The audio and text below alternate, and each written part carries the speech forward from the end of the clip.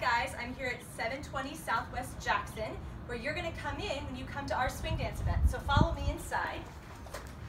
You're gonna come into the Jayhawk Walk of the historic Jayhawk Theater. Follow me on inside. Our event is on Saturday, May 19th. We'll have a beginner lesson from 7 to about 7.30, 7.45, and then we'll have social dancing after that. So you'll follow me down this hallway till about 9 o'clock. And you'll check in, and then through these doors, you'll get to see the amazing Jayhawk Theater.